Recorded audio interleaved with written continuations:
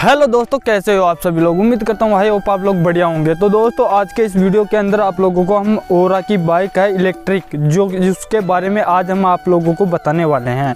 तो आप लोग हमारे इस वीडियो में लास्ट तक बने रहे तो ही आप लोगों को समझ में आएगा। तो आप बीच में वीडियो छोड़ के चले जाओगे तो आपको कुछ समझ में नहीं आएगा तो हम करते हैं वीडियो को स्टार्ट। तो चलिए, हम आप लोगों को इसके बारे में इसकी टेस्टिंग कराते हैं कि कैसे चलती है, कैसे नहीं चलती है।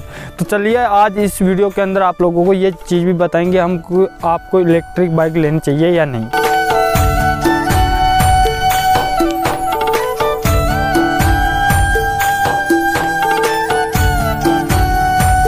चाबी ऑन कर रहा हूँ और आप लोगों को मैं सबसे पहले बता देता हूँ, इसमें कैसे कैसे क्या क्या फीचर है और कैसे कैसे अपन को गाड़ी को चलाना है।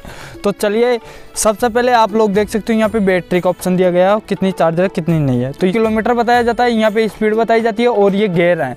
तो हमारे इस टाइम पे दूसरे गेयर में लगी हुई है तो आप लोगों को मैं बता देता हूँ गेयर कैसे चेंज होता है।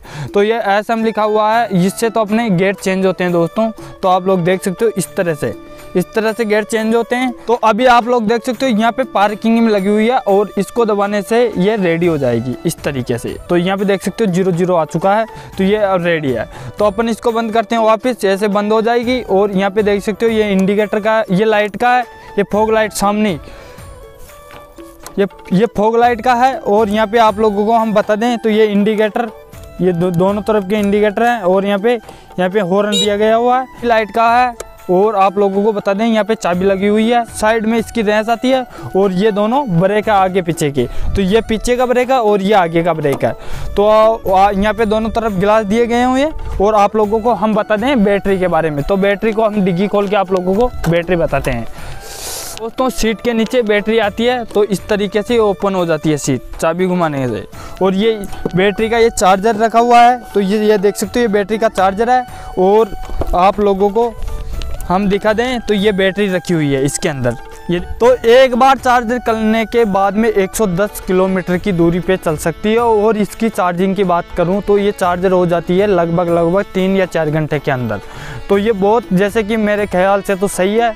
तो दोस्तों, मैं एक बार आप लोगों को इसको चला के दिखा देता हूँ, किस तरह से ये चलती है। तो चलिए, हम करते हैं स्टार्ट तो दोस्तों, हमने इसको रेडी कर लिया है तो ये अपने पहले घर में है तो मैं धीरे धीरे इसको रेंस देता हूँ।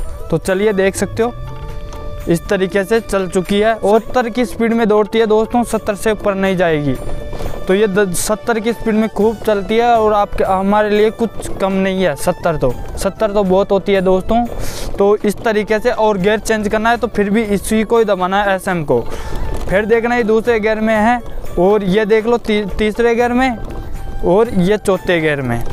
इस तरीके से ये गाड़ी चलती है और ये चौथे गेयर में चल रही है। खूब, बिल्कुल बिल्कुल भी आवाज़ नहीं आती है इसके अंदर, बिल्कुल आराम से बढ़िया तरीके से मेरे ख्याल से तो शानदार गाड़ी चलती है। एक ख्याल से तो आपको ये गाड़ी ले लेनी चाहिए। पेट्रोल की बचत बहुत ज़्यादा होगी दोस्तों और 110 किलोमीटर कम नहीं होती है 110 किलोमीटर खूब चलती है और जहाँ भी कहीं रुके गाड़ी, वहीं चार्जर लगा लो। मेरे हिसाब से तो आपको लेनी चाहिए ये गाड़ी। तो ये वीडियो पसंद आया तो वीडियो को कर देना लाइक और चैनल को कर देना सब्सक्राइब इसी तरह के वीडियोज़ इस चैनल पर मिलते रहेंगे। तो चलिए वीडियो को करते हैं यहीं समाप्त। मिलते हैं इससे भी न्यू वीडियो के साथ में। जब तक के लिए बाय